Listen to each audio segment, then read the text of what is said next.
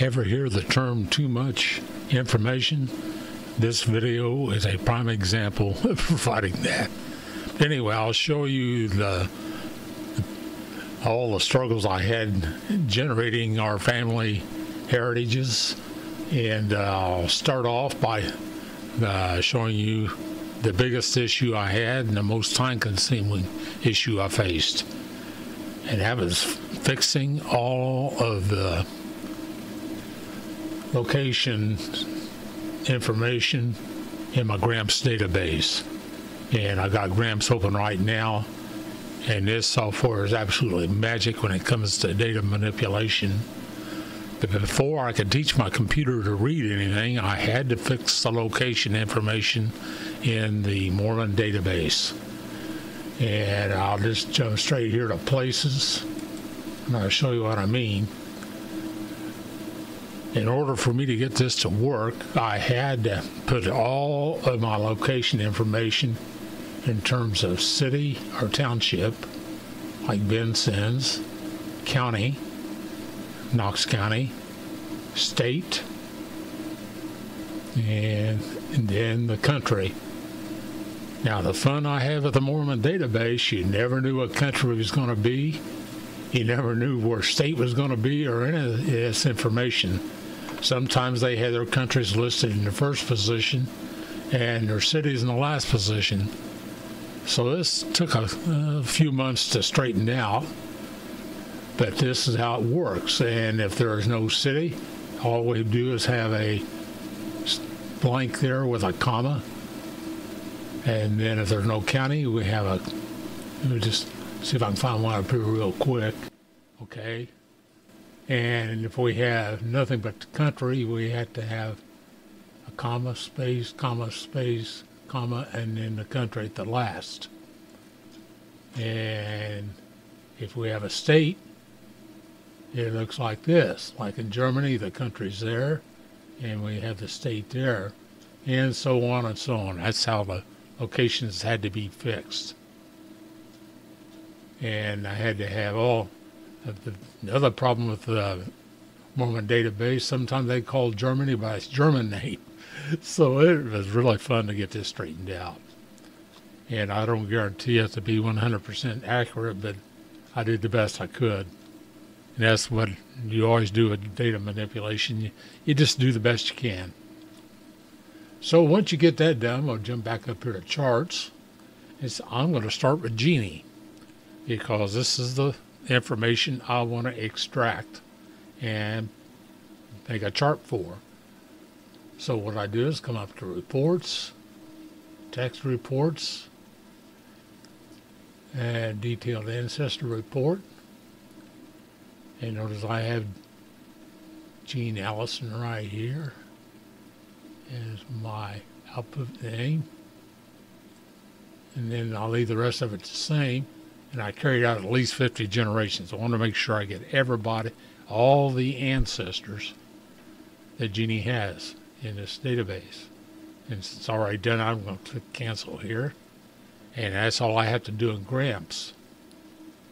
Once you export the Gramps detailed ancestor report, it generates a report that looks just like this. I've got it opened up here and you can see how well organized it is. Now, the, the problem I had uh, is the first generation is in this format. It shows the ancestor here as Jean Ann with a period, and then we got born here as the next place I have to search, and then it's got the birth date, then it's got N, and I go there and I had to look for N and find Washington, Daviess County, Indiana, USA, stop at the period, come over here to died, and search where she died, and it says she's living, so it's not the data is not available, and it's got who she married, which was me. And I go through this record, and I search for the next one, which is me and I searched for him and put his information in, extracting the information exactly the same way. Then the rest of the operation relatively simple. They're all set up the same. So we got the second generation, and we have Burke. We pick him up, stop at the period. We skip all this crap here, come over here to born, search for that, and he was born then. Pick out that information. He was born in. Pick out this information. And remember, I was telling you how important the format of the locations document is. Because I got Veale Township, Daviess County, Indiana, USA. And we stop here at the period, extract that information. Then we extract the died, we search for the died, and pick out his death date. Where did he die? Search for this in in Jasper, DuPage County, Indiana. And again, how important it is to have these formatted. No, I've misspelled Du Bois. Too bad. and come over here, and it shows when he's buried. He's buried in Daviess County, Indiana, and that's in the information we're searching for. So all I had to do is teach my computer to read this file and put it in a spreadsheet. And I won't bore you with all the gory details it took to do that, but that's what I did. And I taught my computer to read this file and build the spreadsheet. And from there, we can generate charts and everything else.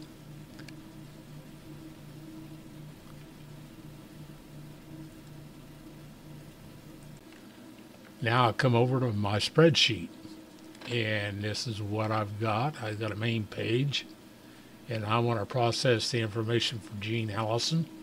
I just click on her and I process individual data.